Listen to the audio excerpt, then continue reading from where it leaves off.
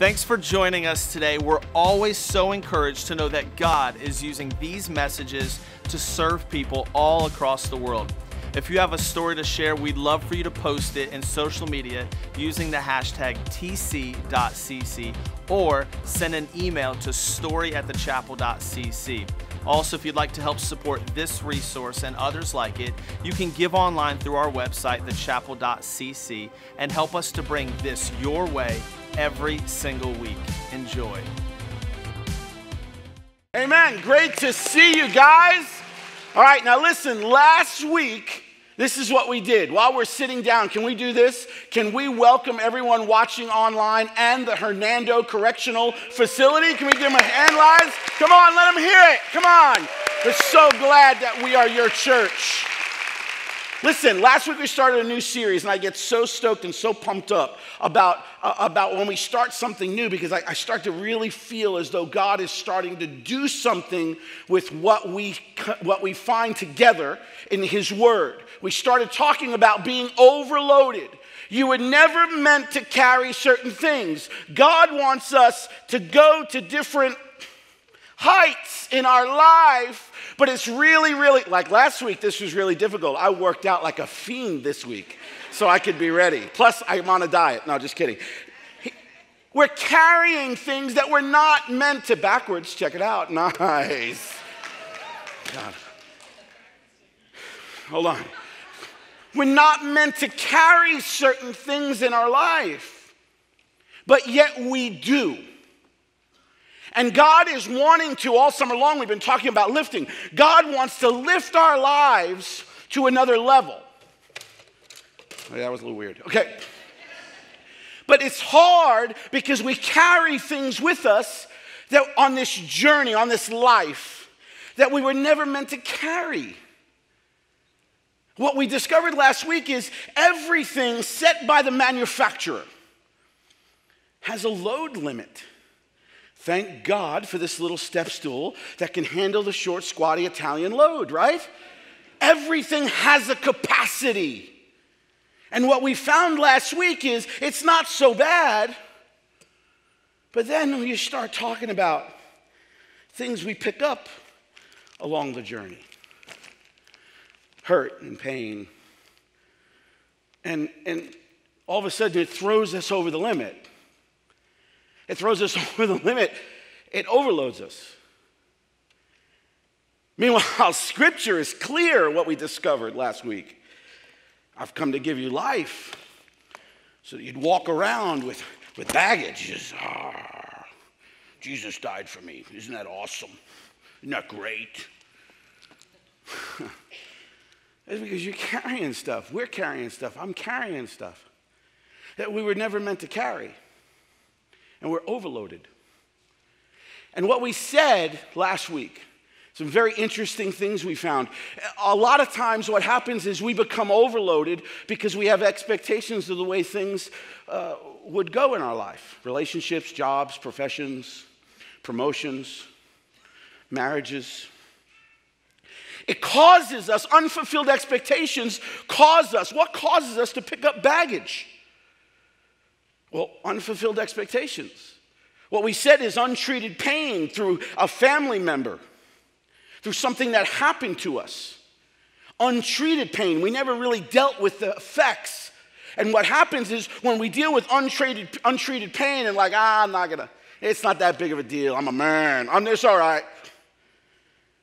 We wind up picking up baggage that causes us to be overloaded because we never dealt with the pain and the hurt from a situation. What also overloads us, how do we get this baggage um, from an unresolved yesterday? I had the, be- the wonderful chance to practice this this week. Just so we're clear, I, I was dealing with a pastor who uh, I have somewhat, or I thought I had a really good relationship with, and he said something about me. And I heard about it.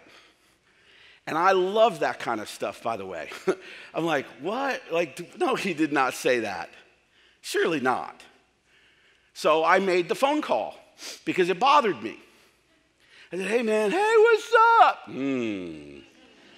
Hey, hey, man, I'm doing good, good. I had a question. I was, on, I was in Philadelphia this week, and, and coaching with some church planters.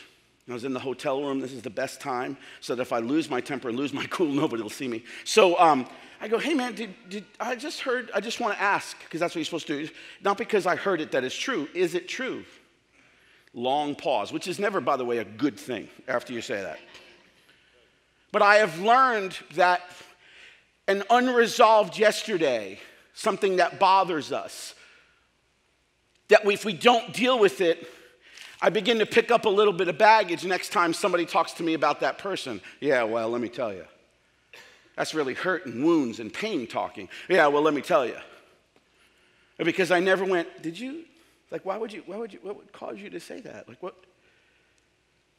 So, an unresolved yesterday, and how you know something is bothering you, and what we said yesterday, which I got a, a, a, lot of really positive emails, which is awesome. I said, if you know, if you don't know whether you have an unresolved issue with somebody or not, ask yourself how often and how easy is it for you to pray for them? How easy is it for you to pray for them? That you want the best for them, that you want God's best for them. That's how you know whether you've picked up baggage from an unresolved yesterday, whether it was a comment or whether it was somebody, somebody did something or said something about you. And I've learned that my personality doesn't do well with that. I go mafia real quick if I don't absolutely just go, hey man, I gotta tell you, you can't do this. It bothered me. And if we're not careful, we wind up picking up baggage that overloads us because we're not meant to carry that. We said the other thing that helps us create this baggage that, that we create, where does this come from? Was an unhealthy view of ourselves, of how we believe God sees us. Because of uh, something we've said, something we've done, we know it was sinful. We carry around a level of shame or guilt. And we always think we might be defined by, by something, an act, two, three, four months ago, two years ago. And so we get used to carrying this, this thing around because we just have this unhealthy sense of how we believe God sees us. creates baggage in our life. It creates so much baggage that it, it makes us over capacity because we're not meant to carry. Uh, unrepented sin, this was a good one because we said it wasn't unforgiven or unconfessed sin. We said it was unrepentant. Some of us have made decisions in church before that we would never do blank again. We would never say blank again. But we never made a behavioral change when we left God's house. Unrepent, the word repent means you have to physically turn from what did and what you did wrong or what we said wrong or what we did wrong. Doesn't mean you're not forgiven. So we pick up this baggage. God didn't forgive me. I still feel God's getting me back. That's why I didn't get that job. God's doing, he's, I knew he'd get even with me. No, it's because you didn't, we didn't make a physical change. It's not unconfessed sin that causes us, or unforgiven sin. Sin simply a, a behavior that we did that God didn't create us to do. Sin simply uh, something we said that we weren't created to say. And we start carrying this baggage because we think God doesn't want anything to do with this, but we didn't make a style change. We didn't, we didn't do a lifestyle change. Unrepentant sin causes us to pick up these bags. So here's God trying to lift our lives up. And He's like, Why is it so difficult? Why is this so difficult, God? Because I got bags hanging all over me. Because you know we're meant to carry it. What we said was, This is what we were going to do for the next three or four weeks. For though we live in the world, we do not wage war as the world does. The weapons we fight with are not the weapons of the world. On the contrary, they are divine they have divine power to demolish strongholds.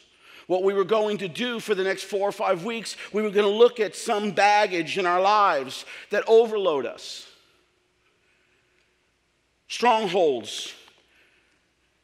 You spent a little time looking at what really a stronghold is. It's a word called a kurama, and it means a prisoner locked by deception. Some of us are living our lives as though God doesn't want anything to do with us. That's not true. Because you have a stronghold in your life, because it's baggage. You cannot fix spiritual problems with an earthly mechanism. You can't fix a spiritual problem. You, you feel shameful and you feel guilty. I feel guilty. I feel shameful of the things I've said and done as a husband, as a father. You can't fix that with earthly weapons. It's what the scripture says. No, we to fight, we have to have spiritual things. And we said this word stronghold, it means that we're living life by a lie. God doesn't want anything to do with me. God doesn't really, He's not interested. God's not listening to my prayer. God's not, and I can tell, look at my life, look at all the things that have gone wrong. What? That's a lie.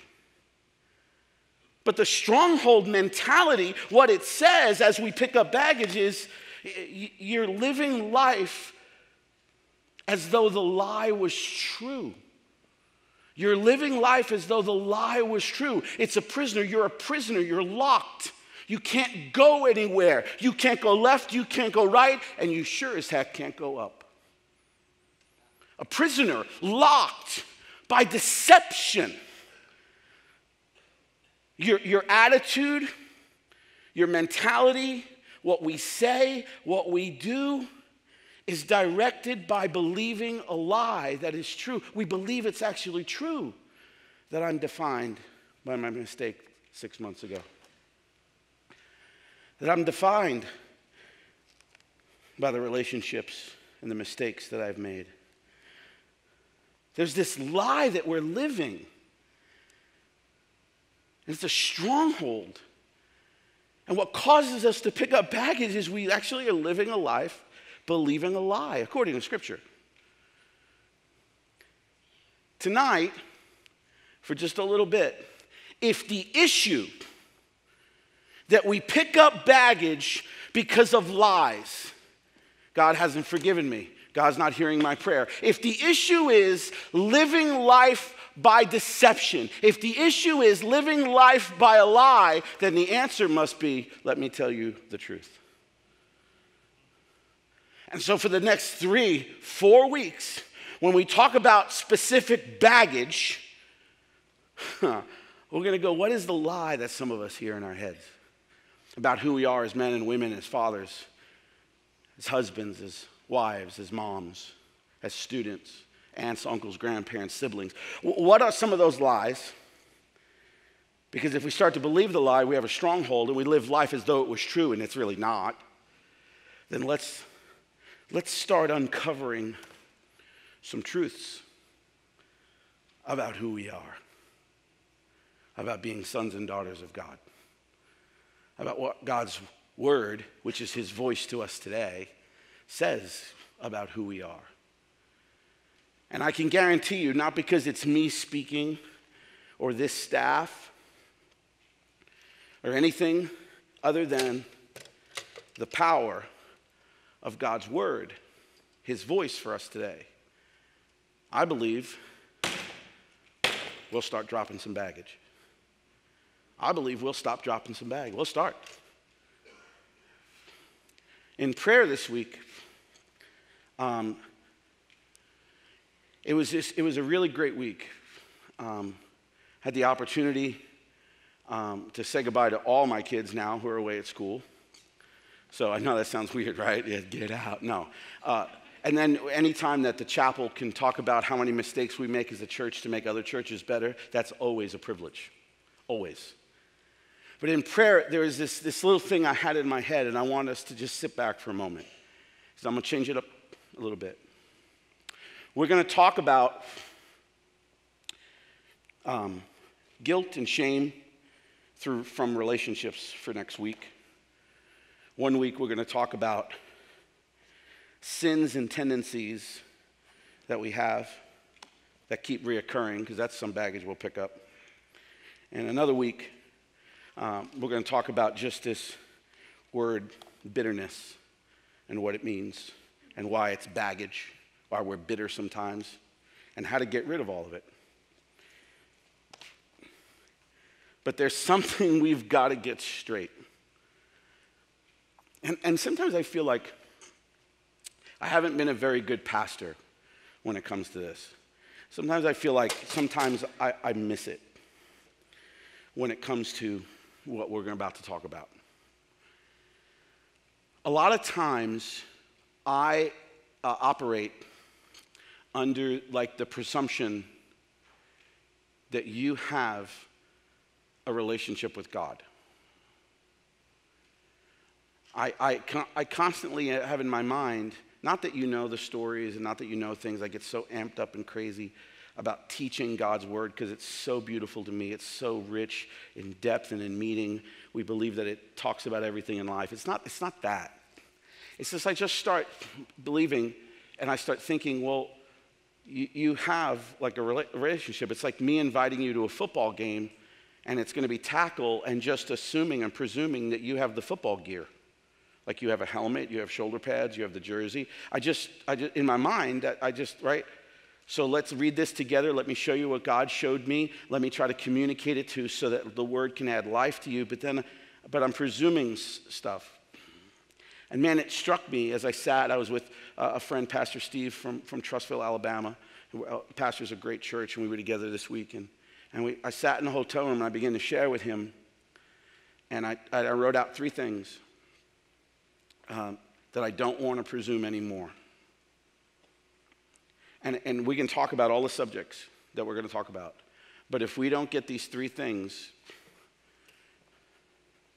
you're not really going to get rid of bitterness. You can't. You, you, you, you can't drop, you're not really going to drop the baggage of insecurity. You drop it for a little bit. So I want you to hear my heart every single time I speak, but especially tonight. There's something about unloading baggage that I've experienced in my life that I always go back to the same three things.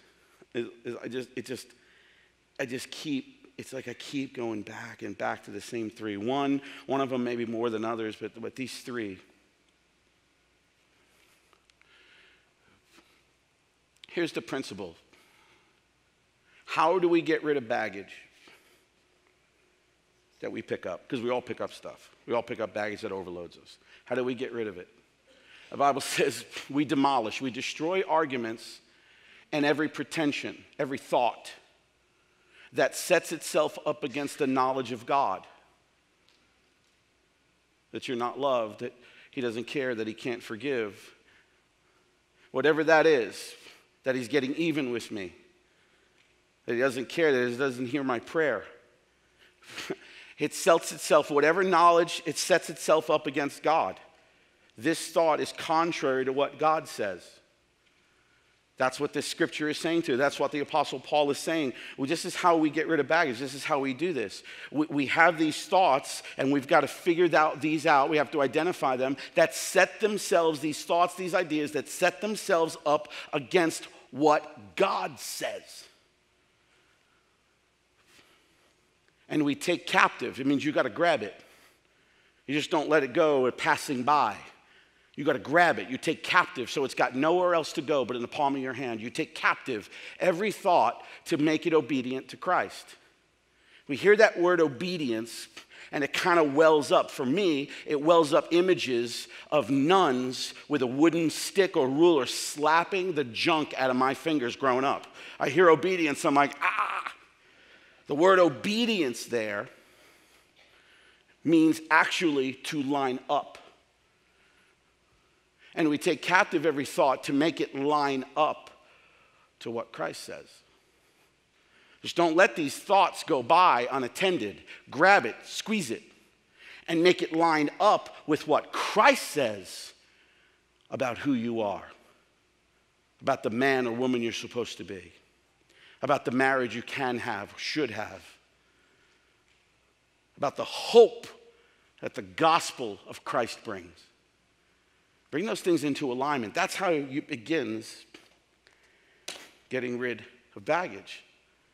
You got to hold that thought that's contrary to what God says. Here's three. Without these three, I'm going to make a broad, sweeping statement. Without these three, it will prevent you from God, taking you to a position where He's always desired you to be. Without these three coming against, whether it's daily, weekly, monthly, for me, it's almost daily. But without taking these thoughts captive and lining them up with what God says, we'll talk about hurt from family. We'll talk about bitterness. We'll talk about shame. We'll talk about guilt, getting rid of the baggage, getting rid of everything. Without these three, it ain't going to stick. Number one, God has always loved me. Oh, Pastor Q, I know, I know God loves me. I just, I just know He loves me. I've heard, oh, come on. Three truths, because if the problem is living by a lie, let's talk about truth that we can't avoid, that we constantly have to take captive. God has always loved you. He's always loved you, He always will. Let it sink for a minute. Come on, Pastor Q. Here's a test. When your expectations are for something to go a certain way and they don't, do you settle for the thought that God doesn't care or God's getting even with you? Do you settle for the thought that God's not concerned? Do you settle for the thought that God's getting back at you? Because that's not His love.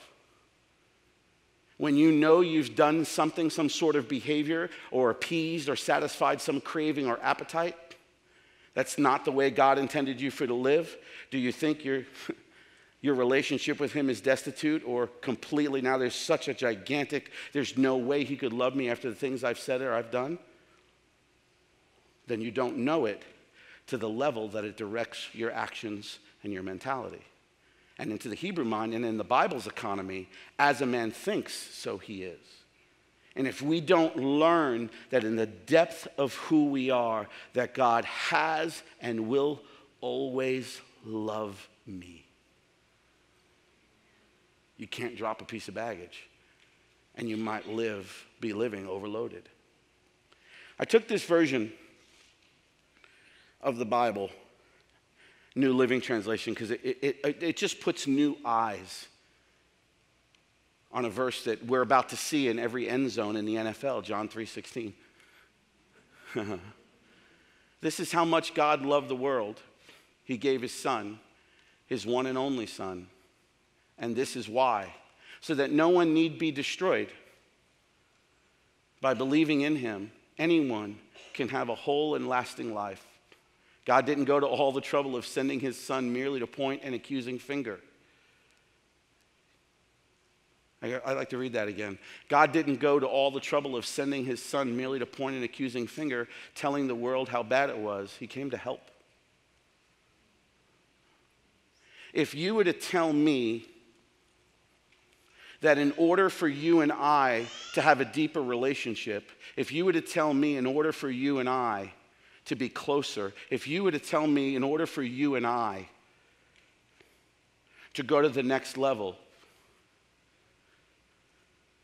I had to give up my son Michael or my daughter Michaela. Sorry, bro, we're not going to be friends. Sorry, we're, we're actually not going to have a relationship. Because I'm not willing to do that. And to know that God Almighty went, yeah, in order for you and I to be in relationship, in order for you and I to be close, yep, I'll give up my son. without knowing that and convincing yourself and knowing it as truth and claiming that, for me, just so we're clear, I got to do it every day. That He's always loved me. He's just always loved me. In the thick, in the thin, in the smart, and in the stupid, in the joyful, and in the sinful. He's always loved you. Always.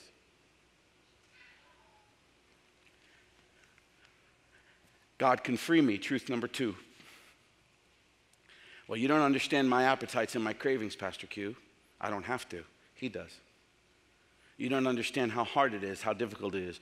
You'd be surprised if you knew my story, how hard and how difficult I know it, it can be. God has always loved you, truth number one. Truth number two, you got to get inside so we can start kicking some tail on some baggage and dropping it. You got to know God can free me. He can free me from anything that I believe, whether it's a pessimistic attitude, whether it's a negative, na- negative Nancy attitude, or whether it's an addiction, whether it's sexual addiction, whether it's pornography, whether it's food, something that directs your mentality and your behavior more than the Spirit of the living God, Jesus can free you.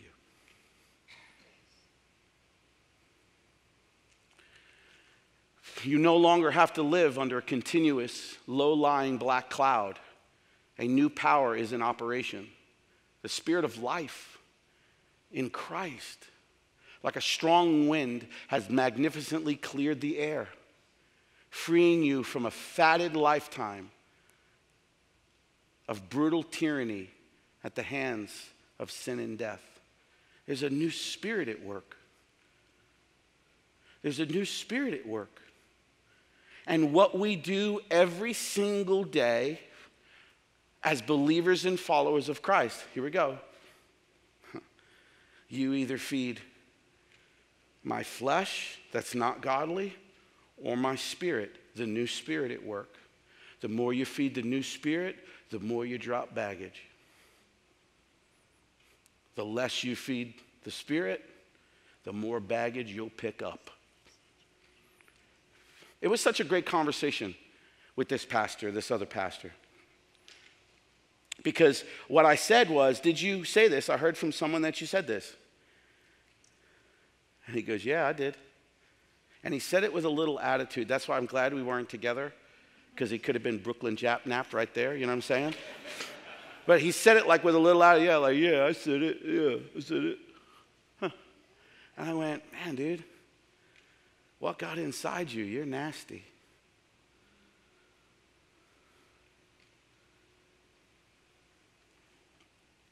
Because,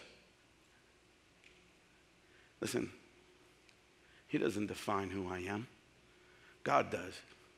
His words don't direct me, God's Spirit does. What He says doesn't cause me to react. Am I that way all the time? No. But this week I was. And so when you know there's a new spirit at work, dude, I don't allow anybody to have that much influence in my life that causes me to be something that God didn't create me to be. I just don't do that. I got enough trouble getting enough of God's spirit in me so that he'll, he'll direct me. Because the, the truth is, He can free me. And the word is clear. There's a new spirit at work in you. There's a new spirit. Feed that one, that one gets stronger. Feed your flesh, which means our, just our natural human tendencies. It's going to be hard to drop baggage, and it's going to be real easy to pick it up. God has always loved you and I. God can free me, and God will restore me. Three truths. When you drop kids off at school, at college, if you haven't, um, aside from the sticker shock of tuition payments, um, you, you, you sit and you tell friends that might be they're rooming with or whatever, and you start telling stories. And you know, some people don't know I'm a pastor. That's not the first thing. I don't, I don't do that. I'm not that kind of guy. Like, hi, how are you, Pastor Mark? I'm like, I'm Michael and Michaela's dad. You know what I mean? I'm like, we happened to be with some friends and uh, that uh, knew me when. and they went, So, how's that church? It's like, I think it's going good. I'm just trying not to say stuff to jack it up. You know what I mean? I think it's going all right. I think it's cool. I, mean, I don't know. It could all blow up tomorrow. Who knows? And I said, Yeah. And, uh, and, uh, and they go, Man. And they started telling uh, these stories. And it was funny, and we laughed like crazy stories that you'll never hear.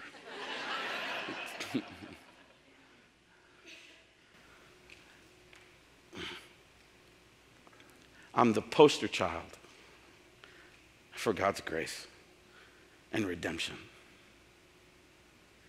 And every day I have to remind myself, He's always loved me.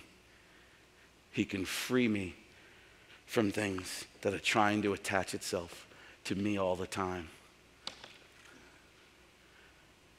And I know He can restore my life from what it could have been and what it was to who He created me to be. Though you have made me see troubles, many and bitter. Can you just raise your hand if that's been you in any shape or form?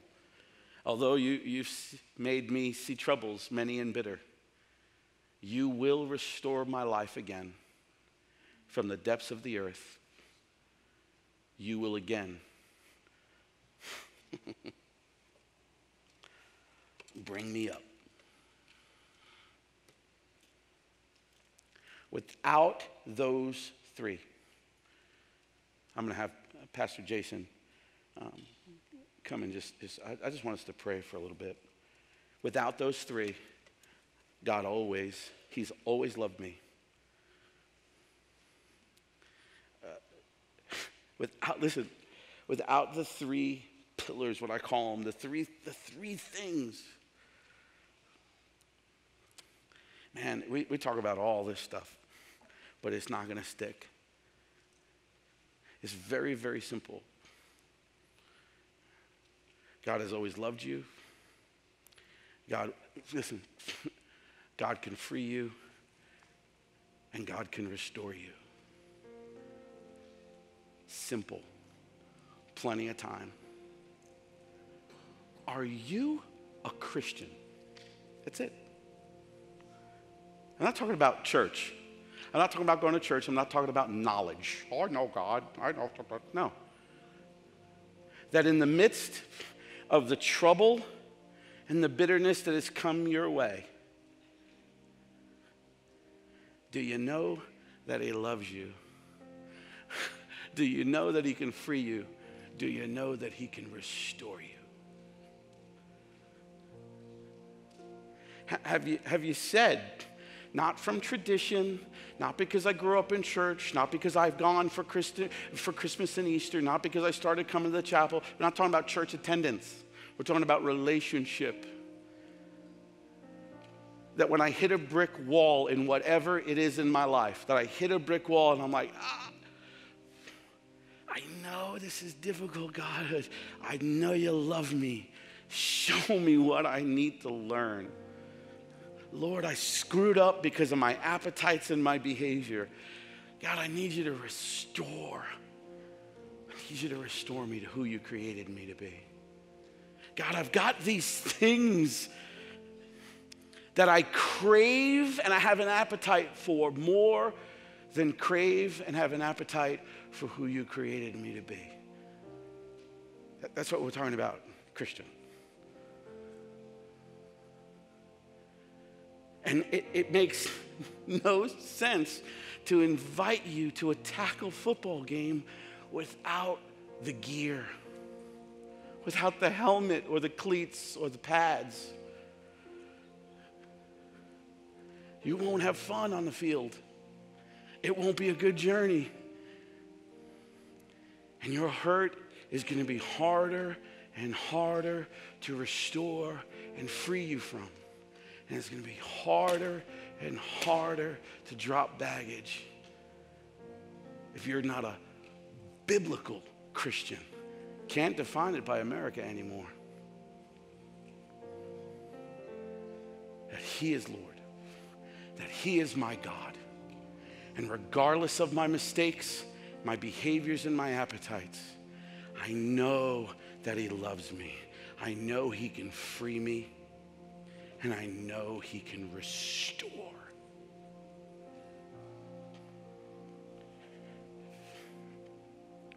I'm not going to presume. I've asked some of our wonderful prayer team, some of our pastoral staff, Pastor Jason, is just going to play for a little bit. You need someone to pray with because you need one of those three you need to know the depth that He's always loved you. Or you need to know, I'm going to know today more than ever, Pastor Q, that He can free me from this. Or I just, I knew He loved me and I knew that He can free me, but I didn't know He could restore it. Yeah, I'm your pastor. That's all I got to say.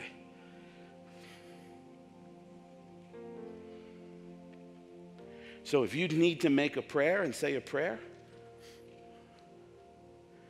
of just that, I need, I need Jesus to be the one that I'm convinced loves me. I'm convinced I know it now. And I'm asking for forgiveness of what I've said and what I've done because He can free me from the things I've said and I've done, and He can restore what has happened in my life. I want to be a biblical Christian. Not talking about a church attender or part of a denomination. I'm not talking about church membership. You need to pray with some of our staff. Guys, the prayer team, if you'll come up.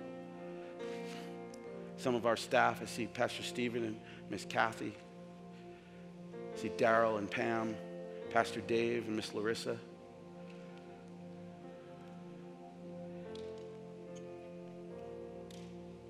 Some of our elders are here. Patty and Clay. Yet,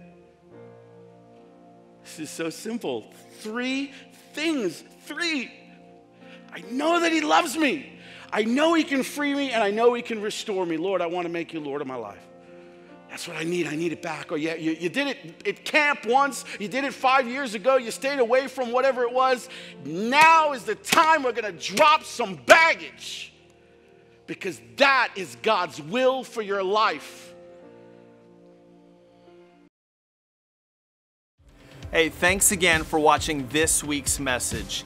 If you'd like to support this ministry financially, you can do so by giving on the chapel website, thechapel.cc, and use the give button that's located in the upper right hand corner. Hey, we love being your church, and we'll see you next week.